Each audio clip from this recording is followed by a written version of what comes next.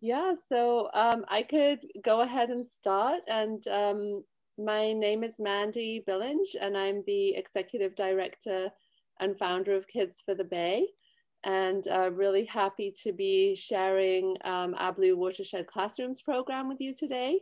And since we just have a few participants, maybe Laurel and Sienna can introduce themselves, and then uh, teachers could say your name and grade level and um, why you're interested in the workshop. Great. Yeah, I'm Laurel Sebastian. I'm the education manager at Kids for the Bay. And yeah, I'll be helping uh, lead this workshop with you. And we, we teach mostly third through fifth, but um, we do have programs that extend K through um, K through sixth as well. Hi everyone, I'm Sienna Kirkendall. Um, I'm also a program manager at Kids for the Bay, and I'm really grateful you all are here, and I'll help be helping with the workshop as well. So um, Janet, could you go ahead and tell us where you teach and what grade level? Okay, um, so I teach, I'm at Collins Elementary in Pinole. Um, I teach third grade. Um, yeah, so I'm just, I mean, I, I don't, I'm not real familiar with Kids for the Bay, but I'm hoping, um, you know, I think part, part of what we're talking about as teachers is as much as possible, you know, bringing real life problems and issues into the classroom. Um, you know, and I know there's, there's issues with, you know, with water and with the environment and all these things that these kids are dealing with and will be dealing with. So, you know, I'm hoping that's, uh, you know, tying that into our curriculum um, would be a really good thing. Definitely, thanks. Um, Rachel, could you tell us a bit more about yourself? Hi, everyone. Um, I am the science prep teacher at Torrey Pines Elementary School in San Diego. So I teach science to kids that are from TK to fifth grade once a week. And I am here to get any and all resources. Like Janet said, I love giving them, you know, those real world applications. So to bring, you know, our science lessons to life. So thank you. Wonderful. Thank you. And um, Juanita, would you introduce yourself? Okay. Um, I uh, my name is Juanita Flores Mejia. I teach fifth grade at Ford Elementary, oh, and um, we've done some um, water trips with. I think we did it with Kids for the Bay before, and then where it was like we did like we studied like soil and we talked about the food webs and stuff and how we have kind of like a little bit of a marsh in Richmond. So we went out there with the field trip and stuff like that. So we've done some things in the past when I was at Grant, um, okay. but it's been a little while. Okay, great. So you've done uh, our watershed action program before? Yeah. I think? Yeah. Okay, wonderful. Thank you for joining us today. Um, it looks like we have one more person coming. So um, I'll just continue with my presentation and then we can ask them to introduce themselves afterwards. So um, Kids with the Bay is now in our 29th year of operation and we deliver programs throughout Alameda and Contra Costa counties, mostly in person usually, um, but we're happy to be able to connect with people in San Diego outside of our service area through, through Zoom and online distance learning as well. Um, at Kids for the Bay, we believe that everyone is an environmentalist, and we have four main goals for our work that help encourage students to become environmentalists. And I'm going to um, share my screen and take you to our website so you can see some pictures of our students in action um, while I'm talking a little bit about our goals. Can everyone see the Kids for the Bay website here? Okay, great, thanks. So our first goal is to connect uh, students with nature and to get them into the outdoors, both in their local watershed and also on special field trips to creek, bay, and ocean habitats. And for many of our students, this is one of their first opportunities to visit the ocean or explore the bay or even to explore their local creek in a scientific way with um, environmental education. Um, our second goal is to get our students really excited about hands-on science. So we bring a lot of investigations and experiments into the classroom. Um, we also have uh, give our students the opportunity to do observations and data collection in the outdoors. And we bring a lot of equipment like binoculars and field microscopes so that our children can really engage with science in nature in the outdoors. And they quickly learn that they love hands-on science. Um, our third main goal is to empower our students to um, take leadership in terms of environmental action. So they get to do projects together as a class, for example, creek restoration projects, making green pesticides for their school gardens. And then they also take leadership roles like leading school-wide assemblies to teach their whole school about how to take care of the environment, as well as making videos and posters to share with their families and with their school communities. And then also making everyday behavior changes to help the environment as well. I'm gonna stop the screen share. And um, our fourth main goal is to have a lasting impact. And we do this uh, by partnering with teachers and going into the classrooms and working with our teachers so they get the opportunity to learn alongside our students and then we have uh, our teacher follow-up support program, which provides resources and equipment for teachers to continue teaching the program themselves as well. And that's what we're going to be talking to you about today is our Blue Watershed Classrooms um, teacher follow-up support program. And we'd love to get your feedback since it's a fairly new program that we've been running for just a couple of years. Um, and I think Laurel is going to um, go next with the next part of our uh, workshop today.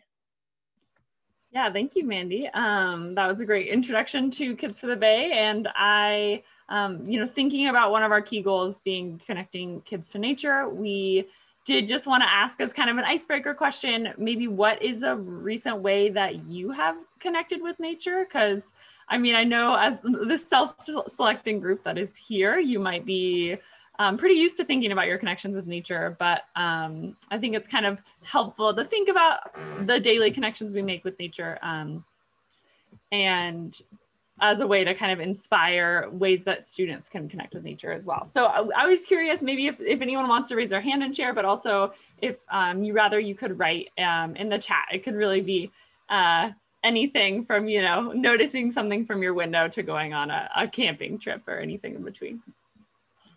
Um, so i have to actually think of mine though. Ah somebody said they recently went on a bike packing trip. Is that sienna? Nice.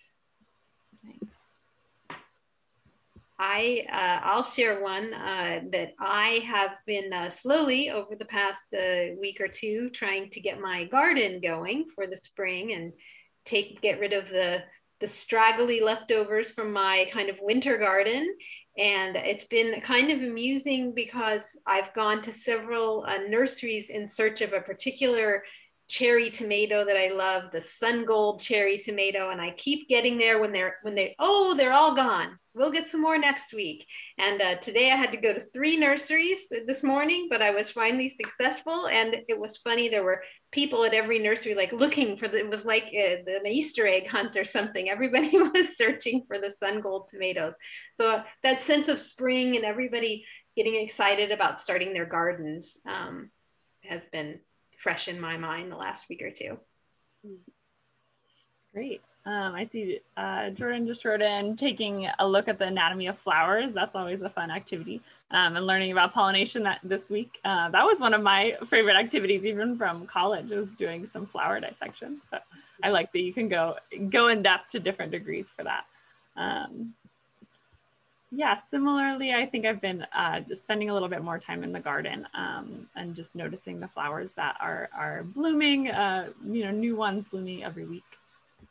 Uh, yeah, I mean, I I hike every. I'm a hiker, so I'm hiking out in the East Bay Regional Parks and up on Mount Diablo every weekend, um, and it's been great. You know, the past month or two with all the wildflowers.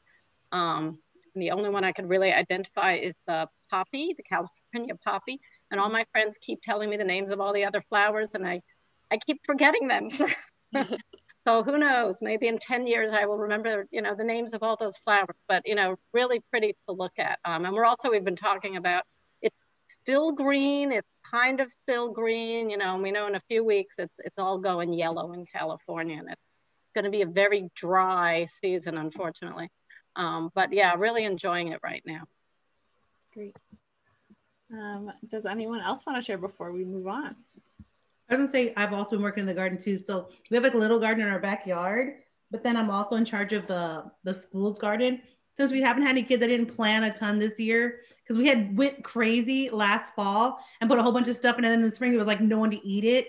So we just end up cleaning it all out and then like just maintaining the trees that we have. And um, the other thing was like it's been getting darker later and later. So we were only doing like morning walks with our dog, morning walks. But we've been able to go down to the um, Richmond Marina and walk more like in the evening where it's you know still really nice because it's been warm and it's been getting dark later. So that's been good too. Mm-hmm. That's great. Thanks for sharing. I see that we, um, Constance, you joined us. If you're interested in sharing, we were just warming up with a question of a way that you've connected with nature recently in any, any small or large way. Oh yeah, of course. Hi, it's good to see everyone. Hey, Teresa. And um, check this out. Um, we have our garden. We made new garden bins in the school. So today the children were out putting the sprouts in. That uh, there was a whole keg of them, and we're trying to hurry up and get them in there before they got dried out. We've also made plans for summer so that uh, we can actually uh, maintain the garden in the summertime, which was the first time ever and it's all volunteer from our uh, Prescott uh, First Fruits program, which is our PTA. Mm-hmm. Uh, so then it worked out really well. So we've been doing that pretty much every Tuesday. We have a garden meeting. So, and I'll be there Saturday as well. So we're starting off pretty good. Mm-hmm. Great, thanks for sharing. I think that all of those are great examples of um, you know, I find myself thinking about, sure, I do like to camp and really get far out in nature or in the environment, but also thinking about how can students connect every day with, yeah, sprout in the garden or just noticing a raven from their from their yard. Um, and so uh, thanks for sharing some some thoughts. And we did want to jump into modeling some of the activities that we actually do with the students. Um, we were planning on doing a breakout group, but I wonder um, Sienna, if you have thoughts with a smaller group, if it makes sense to do one group, or would you prefer to go ahead and do a breakout? I think we could probably just stay as a whole group since we're a smaller group for that. Um, yeah, I can share my screen and lead that. So we have an activity that we do in one of our early lessons and is a part of the curriculum in the first um, Blue Watershed Classrooms lesson, this program's lesson. Um, and it's called our Virtual Watershed Scavenger Hunt. Um, and it's a great activity to do over Zoom if you're, you know, together in a in that way, or you could do it in the classroom in person. And then we often follow it up depending on the situation with encouraging students to do their own scavenger hunt, like in their own neighborhood or in their backyard or from their window, if that's the option.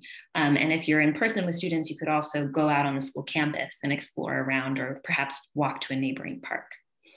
But I'm going to share my screen and I thought we could engage with it um, the way that we typically share with young people that we work with. Um, again, are you seeing my uh, Kids for the Bay? There's like a, a slides. Okay, wonderful. Always got to check.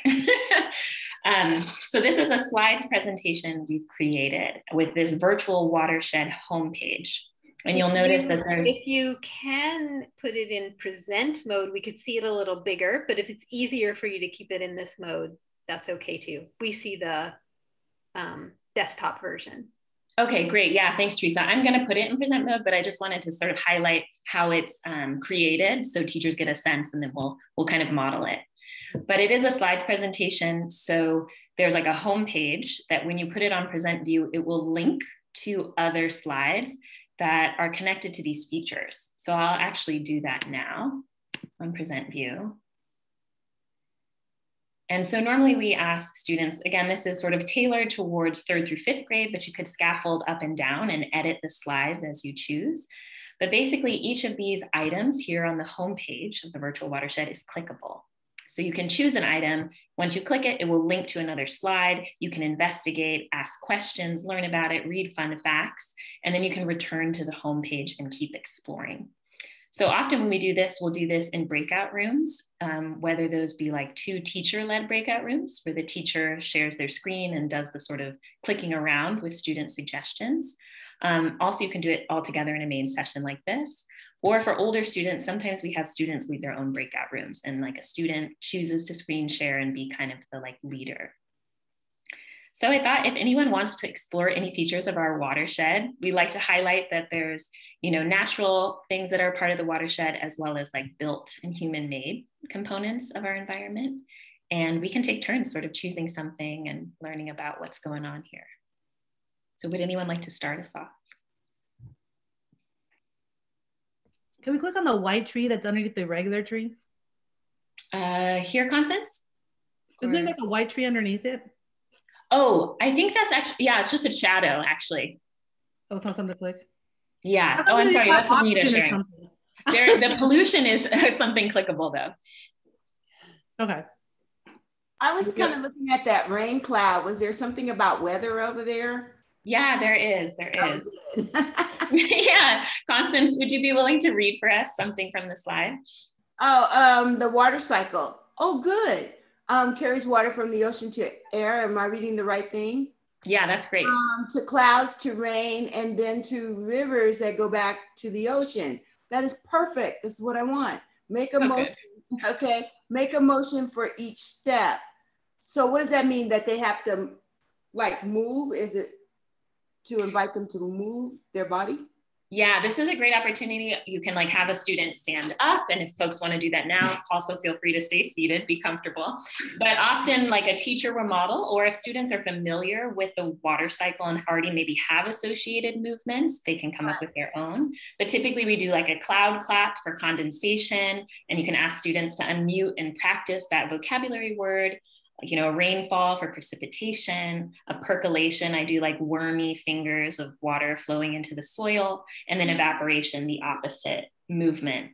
And you can like do it on like super speedy, like, okay, condensation, precipitation, percolation, evaporation, and just sort of make it ah, silly. Yeah.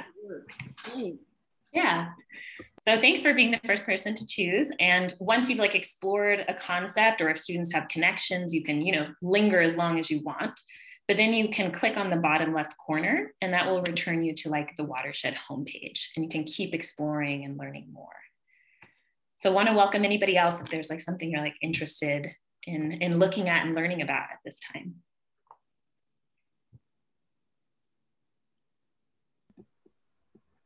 Um, I really like going exploring the fish and crab if you want to click on those. Yeah, sure.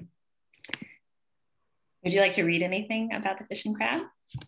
Sure, I can read the striped bass fun facts. Um, the largest striped bass found in the San Francisco Bay weighed 78 pounds, which I often connect with students um, being about 78 pounds, depending on the grade. And so they, they can really relate to that um, and making, and then the next one says, what do you think striped bass eat? What do you think eats striped bass? So having students guess, connecting it to food chains. And I'm usually kind of connecting to the idea that you would have to eat a lot of smaller fish or shrimp or other animals in the bay to be able to get up to, you know, 80, an 80 pound fish.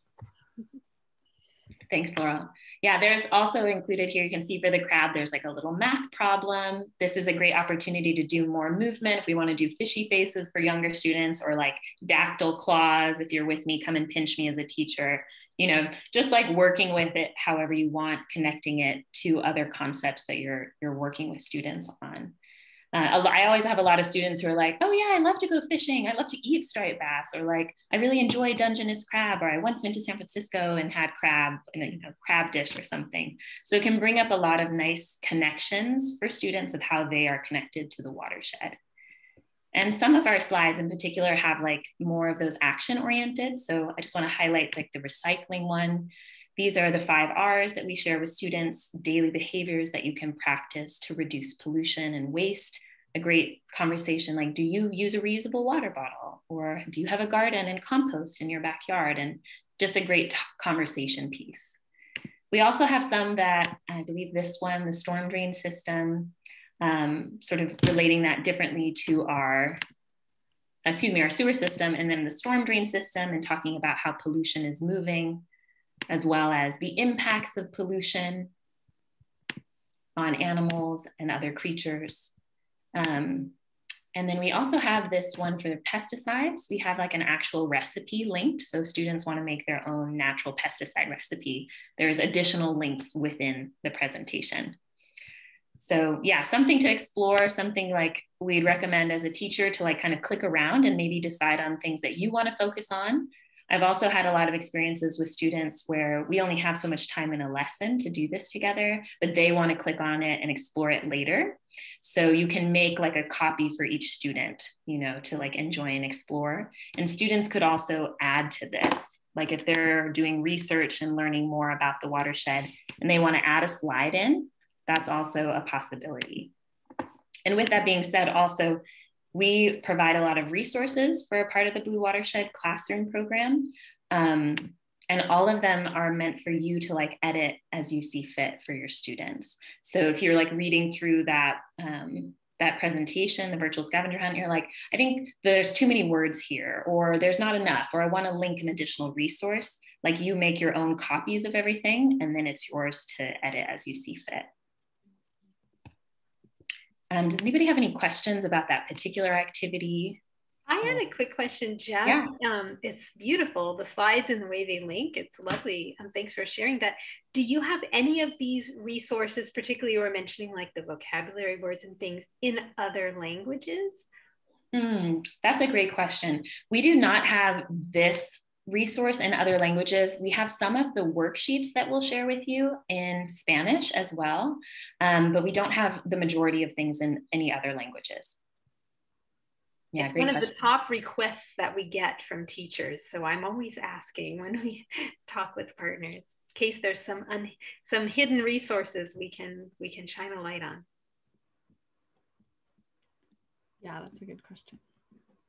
Um, we have tried definitely over the years to improve our our English language learners, um, like our slides or our worksheets, um, all of our presentations over time to give you know STEM sentences and everything. But only some of our, mostly our worksheets are in um, other languages.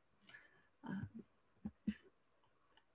if no one has other questions, I think we were going to move on to to diving into a little bit of the logistics of this program. You know, you saw a glimpse of one of the activities, and then um, you know, we have we can overview all the resources that come with with doing the Blue Watershed Classroom program.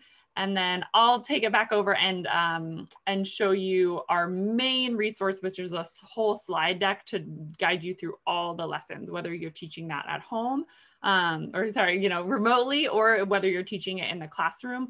Um, and as you'll see when Sienna's kind of overviewing all of these um, resources, we did we tried our best to make them work for distance learning and for in classroom learning. So hopefully I know some people are in the weird hybrid stage in between or starting to transition to classroom. So hopefully this is um, helpful no matter where you're at currently.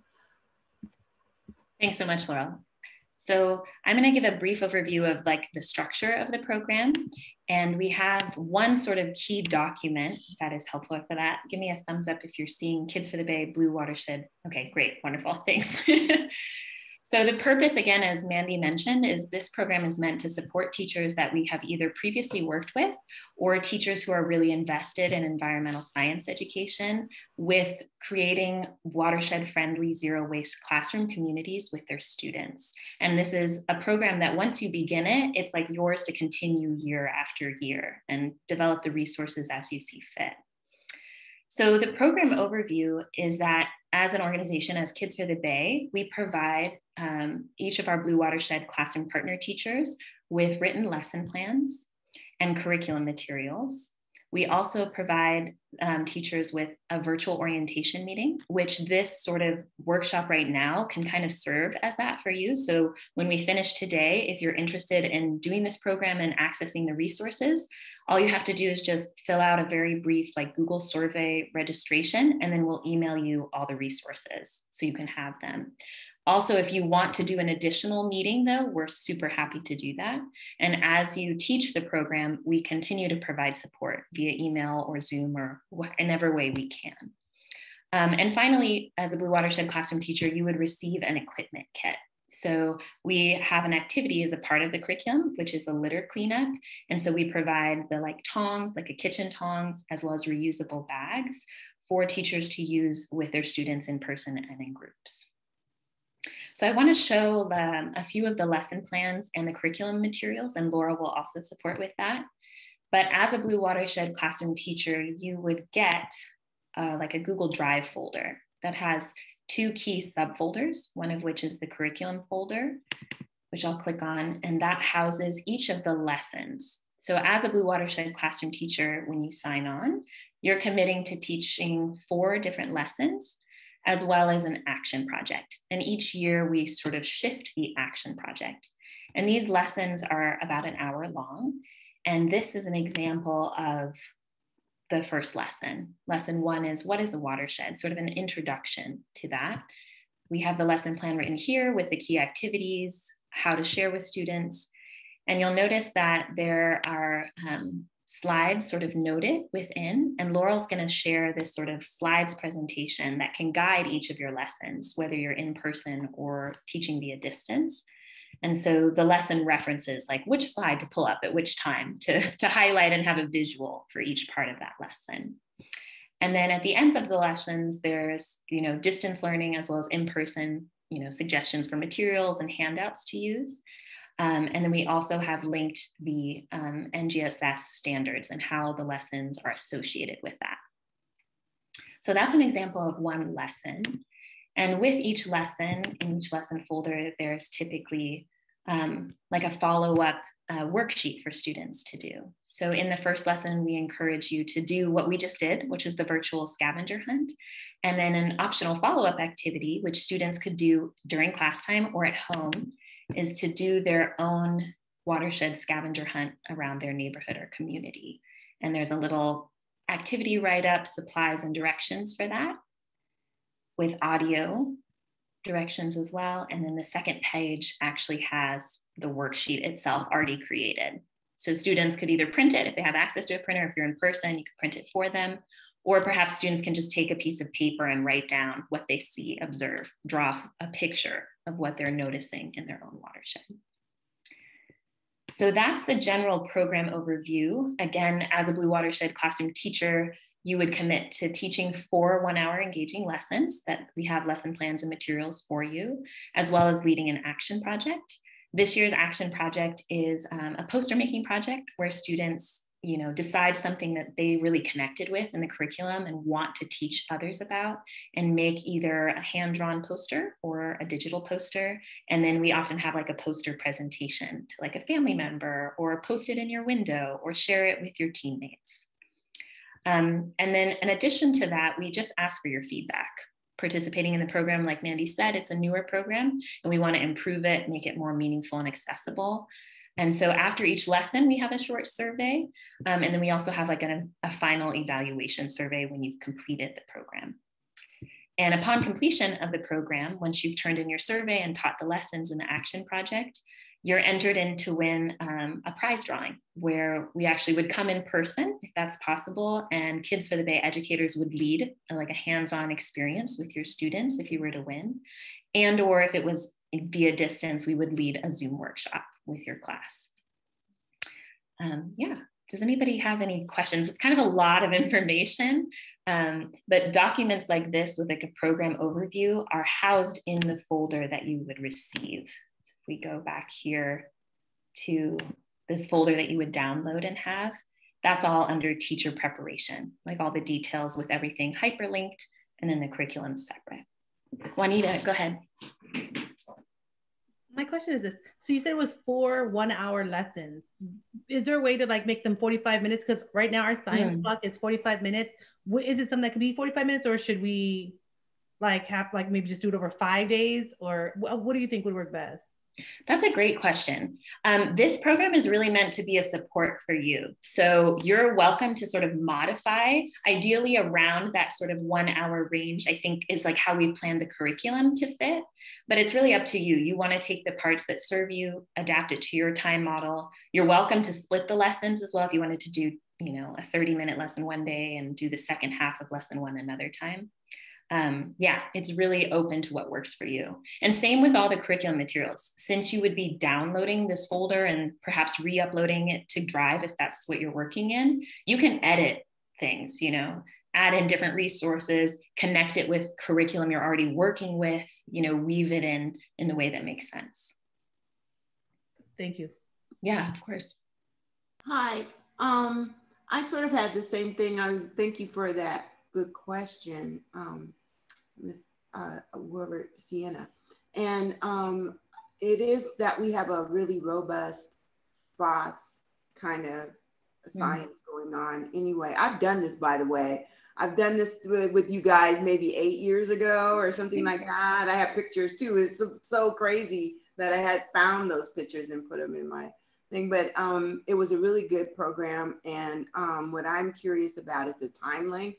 Is there mm-hmm. like a time length to it? Um, can I start in start in the school year fall? Do I have to turn everything in by um, when do I have to turn everything in or? Thanks, Constance. That's a great program, and I'm so glad to hear that you've already been connected with Kids for the Bay previously. Um, in terms of that, normally we do our recruitment for Blue Watershed classrooms, you know, the end of the year prior or in the early fall of the school year.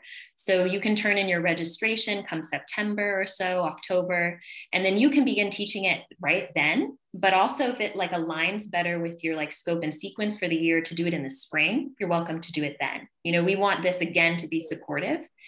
And then the only sort of time um, sort of constraint is that normally we do the prize drawing um, in like March or April. So if you have finished the program by then and you want to be entered into the opportunity to win like a Kids for the Bay educator led experience, that mm-hmm. would be a deadline. But if you're if you're like, oh, I don't really worry about this prize, you know, I want to be able to teach it when it makes more sense a little later in the spring, that's also fine. We just want your like feedback and final survey by the end of the school year, like end of May. And you're talking free, aren't you? Yes. Free, oh. free, free, free, free. free, free, free, free, free. yes. ticking all, ticking, you're ticking all my boxes. And then, yes, of course.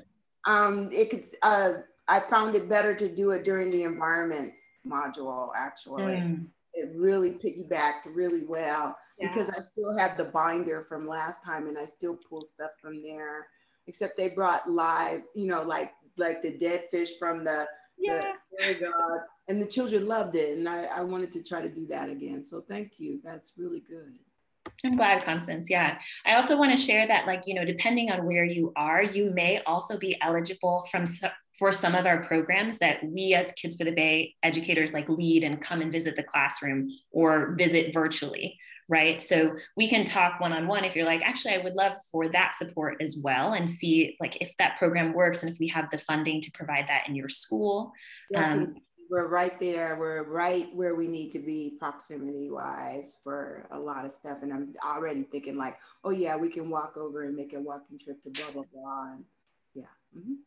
Awesome. Great. Yeah. So just be in touch with us and, you know, we can set you up with whatever program seems best for you. But this program is free and open to anyone who, you know, just has a short orientation with us and is invested in doing this work with their students. I yeah. Have, I have just a quick question. Um, it's such a robust set of materials that you've put together. It's so impressive. Um, is there anything in there about specific watersheds? So if I'm mm-hmm. in, you know, in, in uh, Connie's school in, in West Oakland, or I'm in Janet's school up in, in uh, West Contra Costa County, you know, can I look and see what, you know, what watershed our particular school is in? Yeah, that's a, we actually found a really great, I think Laurel found this for us this year, this awesome like Alameda County watershed map, which I imagine means there's other ones for other maps. I can try to pull that up real quick, but then you can like, you know, research where you land and show students. It's really interactive and clickable. It looks like a cool, colorful puzzle of all these little puzzle pieces of the watershed. Um, so I'm going to search for that momentarily. Um, and I don't mean to throw you off. It's just great to know it exists yeah. and we could connect and share with that. And I'm sure that that, it, that we could find it for West Contra Costa as well, because I think that ties in so well with the NGSS idea of really making things as local and community connected as possible. And so I love that there's that way to really say watershed isn't this abstract thing. Like we're all mm-hmm. in a watershed. Which watershed are we in? But it all goes to this bay that we all share. So I love that. Thanks. Yeah, thanks, Teresa, for that question, that suggestion. And also for you, um, is it Jordan or Rachel or both? Sorry, it's my school account, so they always flip the name for some reason. It's oh. uh, my first name is Rachel. Okay, great. Um, Rachel, for you, for instance, like our materials that we have designed currently are like really Bay Area oriented, but you know, swapping out like a satellite map of your local water, you know, there's all these ways that you can modify and make relevant to your local place too. Perfect. Thank you. Yeah, of course. And I found the watershed map and can um, share it when when I start to talk to. Are there any other questions before I can share one more resource? Janet, did you have a question? Um, well, one of the questions was Teresa's question, so thank you. Because I know when you go to Tilden Park in the um, the entry there, they actually have this sort of this map of the watershed for you know our region here in Contra Costa. But it would be nice because we're not we're near the Pinole Creek where we can walk to the bay. Um, so the other question is just in terms of you said it's for about third through fifth grade. So are there materials differentiated for grades, or basically you give us materials and we can kind of differentiate ourselves depending on the age of our students? Yeah, it's a great question, Janet. It's the latter. Um, yeah, so you kind of choose and mix and match for what you want for your students. I think we've discovered that a lot of um, ways to sort of scaffold up, particularly in virtual, is like giving students more independence, like in breakout rooms for fifth graders rather than third graders. Third graders were often doing like a teacher led breakout or a more like guided activity. And with the fifth graders, we found that the resources we've created, a lot of them are like really excited to kind of be in that leadership role and sort of they know the technology better than us. They're just like leading the breakout rooms, clicking around, making their own, you know, scavenger hunts on slides and so yeah, I think it works well for that full age range and you just you know again know your students best and pick and choose or decide how to scaffold but also within our lesson plans we have some sort of notes around like how to do the activity in a few ways Great. Well, I could share my screen now and the most important resource of all we haven't dug into yet. So that's what we wanted to to end on, and that is our full slide deck of, um, yeah, the slides that go with all the lessons. Um, so I'll go ahead and share that, and then we can continue um, with any questions that we have. And this will give you um, kind of a, a, good, hopefully a strong view of the full program. I think I'll keep it out of present mode just so, because um, there are so many slides, I'm not gonna go, you know, through the four hour lessons, but I'll just kind of hop around a little bit. Um, but you know this is the slide deck that'll be in that main uh, folder google folder that we share with you. Um, and the, the all the lessons are in one place. So you'll have all um, here's our table of contents all for roughly one hour lessons and then the some some guidance for the action project um, which like we said this year is mostly about educational posters um, or environmental posters and then there's a few slides at the end on reflecting, maybe making some sort of environmental pledge about, you know, what they've learned. Um, so to go, just to give an overview of the flow, that first lesson that we've talked most about is about what is a watershed. So that's where they're kind of exploring the virtual watershed. Um, and you'll see, well, first I'll overview all the lessons and then I'll give you a little bit more of an in-depth um, view. So there's what is a watershed? And then a little bit more about the storm drains and pollution and our connections to environments, like how do our cities connect with environments um, or, you know, bays, rivers. And then the third lesson is a, a trash cleanup, which, you know, if you are in person, we usually use that, that hour in itself to do a trash cleanup. Um, the lesson four is about the five R's, so that kind of reduce, reuse, recycle idea, um, and how we're how we can reduce waste, um, or reduce pollution, you know, uh, make more of a positive impact on our environment, and then they would wrap up with that action project. but I do want to give kind of an overview. These slides are really, um, they vary a lot and some of them you'll find are probably a better fit for in person and some maybe are better fit for virtual. And, and for that reason, there might even be a little bit of redundancy here and there. Like, um, you know, maybe if you're in person, you just want to put up a picture of the environment and ask them what the, what the environment is and have a discussion. I, if I'm teaching um, virtually, I always share this slide about what is the environment and have and write in all these ideas um, that students can see as they add their ideas in. Maybe they come in from the chat or students sharing. Um, so there's, yeah, places to add um, things in. We have tried to make it pretty easy to find these resources. So you'll notice some cross linking, like in that main guiding document that Sienna shared, um, that links to this presentation. And then this presentation also links here, it's underlined because this links to that virtual watershed. Um, and there's some embedded things, like here's an embedded video that's really just like one minute on what is a watershed. And I find it helpful to kind of break it down with, with students. Um, so again, works for in-person or virtual.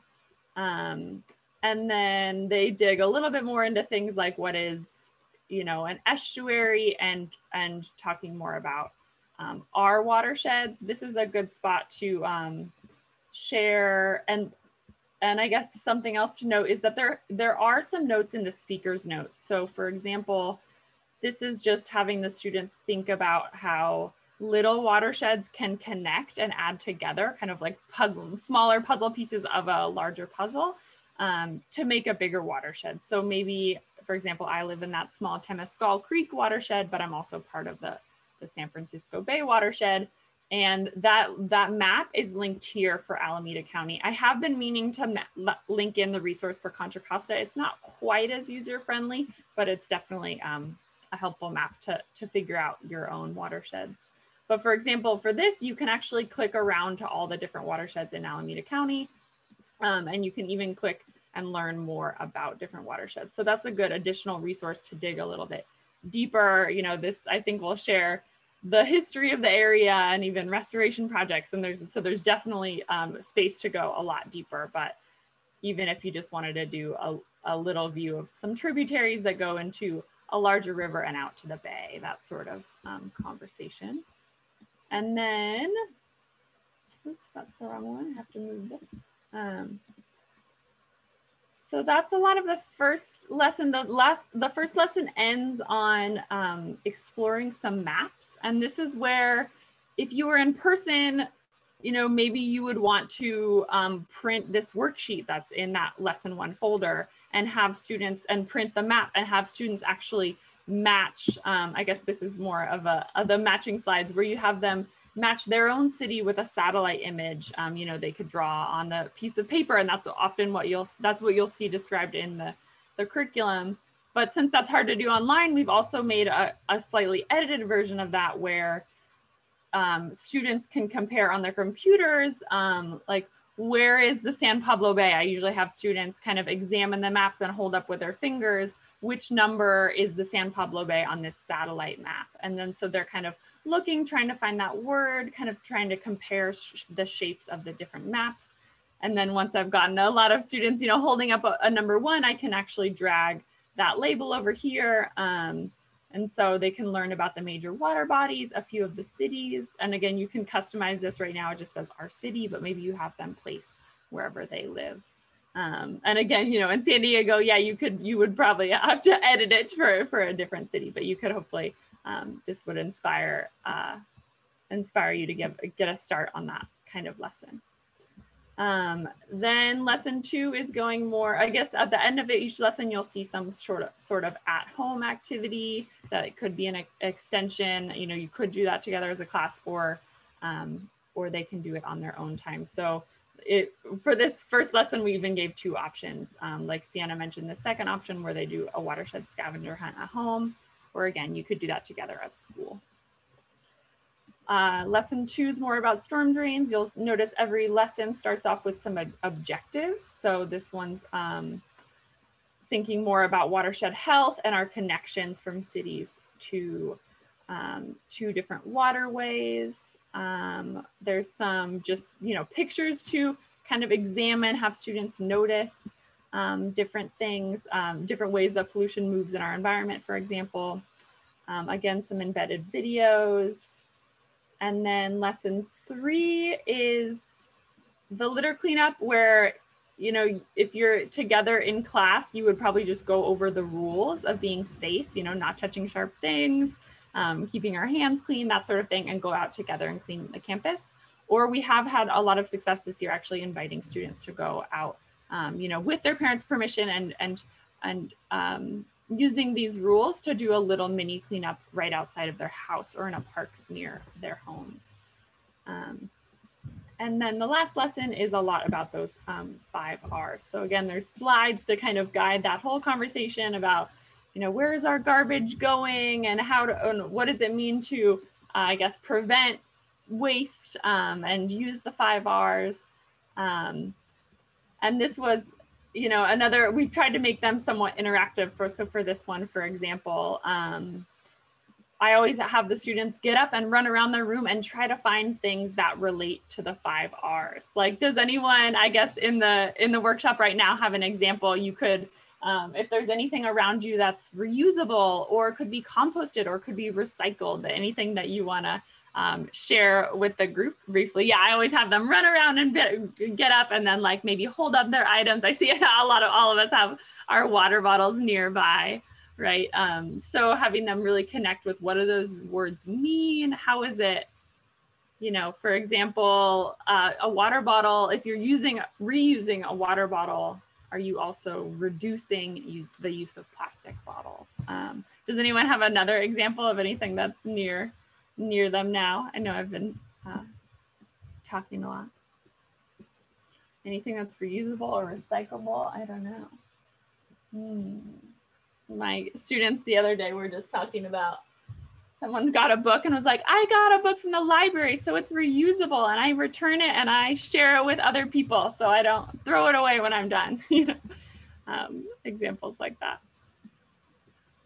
Um, Oh yeah, Janet, you have an example. Yeah, reusable, a reusable pouch. Um, thinking about, uh, yeah, I, uh, and sometimes if I want to go further, I even talk about, um, you know, we at the top of this kind of, it's almost like a, an order of operations. We're always trying to reduce and refuse and reuse, reuse, and then if we're left with some waste, we can try to compost it, try to recycle it, and whatever's left, it gets, you know, sent to the landfill.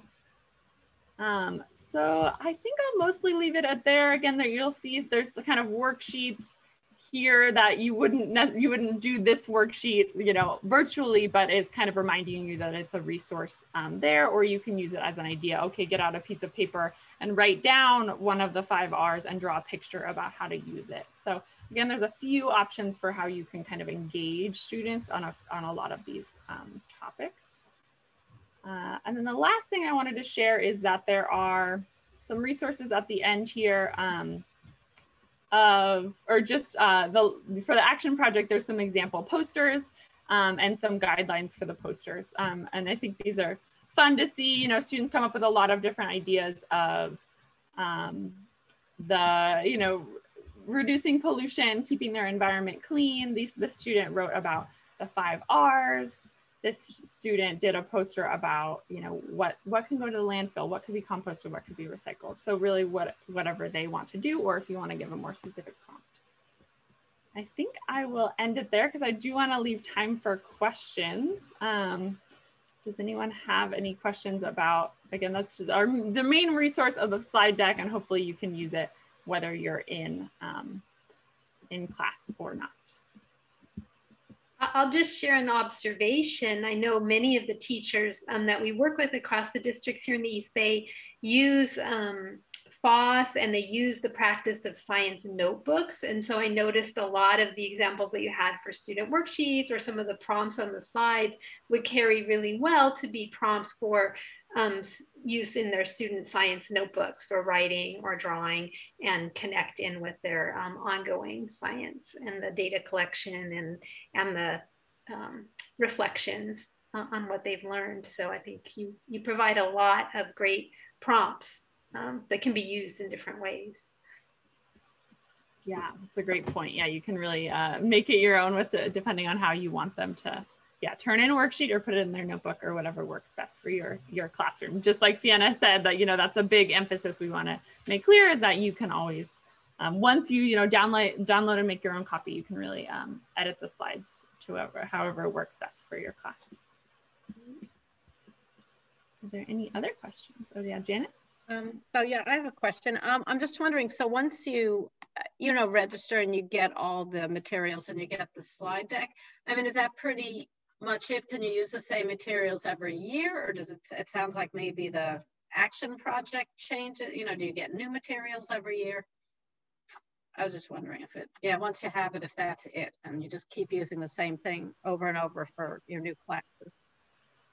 Yeah, you, I think you certainly could. We'll probably always, you know, be learning like we are taking, hopefully getting surveys back from teachers and, and improving it over the years. Um, we do plan to add in different action projects, but you know, if you really like the poster making, that could probably work multiple years as well. Um, and so that's where we usually try to keep in touch with teachers and and have them register and kind of know, okay, who is participating, who who might want um, us to check in with them halfway through the year and see how it's going, that sort of thing. Um, so usually we have teachers re-register and we can share new files with you, but also you could continue um, to use the, the older versions as well, probably perfectly fine. And, and that seems like the perfect prompt for me to let all of you teachers know um, I know they will drop into the chat the information about how you can sign up and register. And if you want to get direct information from the um, Kids for the Bay program, um, please do uh, share your contact information with them because, you know, we even though we partner with people on these things, you know, CRS promises our teachers, we always um, protect their information and let our teachers sign up for what they want. Um, so this is a perfect opportunity for you if you want to get this information directly from Kids from the Bay as well, um, or be updated. You've done the program one year, maybe Janet, you do it this, this coming year, and you wanna get the updates the following year. This is a great time to remind you to sign up directly with them.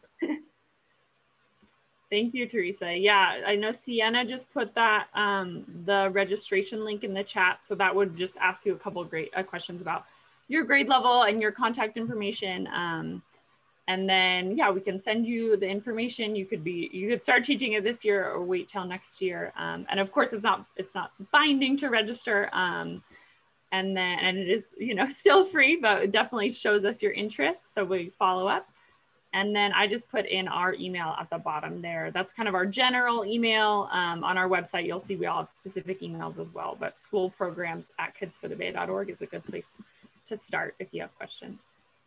And I love the opportunity with the um, with the ability to reach teachers beyond our immediate geographic area. So having a teacher here from Torrey Pines from San Diego is, is lovely. And I, I could imagine um, going forward, maybe an opportunity for you to create some kind of a kids for other bays, you know, and, and sort of be able to link, you know, have, if, if another teacher made that kind of a great map for showing the watershed of the San Diego Bay or some other bay, being able to have some, some way on maybe on your website or something to, to um, connect and share those things. It would be a great, a great way to show that greater connection to the big oceans that we are all ultimately connected to. So I love that opportunity.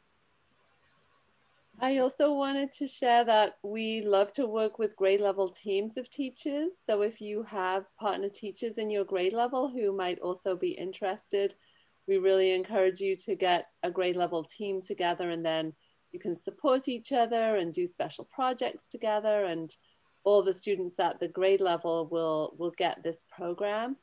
Um, and also we do highlight our teacher partners on our website, on our Blue Watershed Classrooms showcase page. And we uh, provide certificates as well to, to recognize your efforts that you can display in your classroom to share that you are a Blue Watershed Classrooms uh, teacher. So if we have a partner teacher, how do we, like, because they clearly missed the orientation. So is there going to be another orientation they can go to or I mean how would they how would they be able to it's best if they if you come to the orientation together so you can set up a time to to meet together with the kids for the bay educator who is working with you yeah, and Juanita, in your case, since you have attended this, like unless you have additional qu- questions, and like you don't have to join that meeting necessarily, but if you want to share the registration link with your partner teacher, if they send in a registration, we will contact them and set up like a, a 15 to 30 minute, like just Zoom meeting with one of us. Like it doesn't have to be a set time. We can work with their schedule.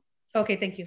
And Yeah. we will be um, sharing the recorded version of this PD. So this could also serve as if you had a partner teacher, if they were able to view the recording and then register, um, they might be up to speed by doing that as well. And I'm going to put into the chat the other um, CRS resources um, for all of you. And I know that you, you probably already have them. And just in case, hopefully you've bookmarked them, the distance learning resources, the climate literacy uh, and environmental science resources, and all of the updates about what our local science centers and partners are doing and offering. And we will spend this summer updating all of that again as everybody figures out what the fall will look like and what programs will be offered and available for teachers. And we imagine that over the next school year, it's going to be something that changes and evolves over the school year. And we will work to keep everybody updated and including Kids for the Bay. So you keep us posted and, we'll keep teachers posted about how your offerings are um, changing as our situations continue to change. Great. Thank you so much, Teresa, for organizing this. And thank you everyone, everyone for, you know, attending and participating and asking questions. I'm definitely happy to, to continue to stay on for a couple minutes if you think of any, any questions. But uh, yeah, it does look like we're at five o'clock and we managed to kind of cover everything by then, which is good.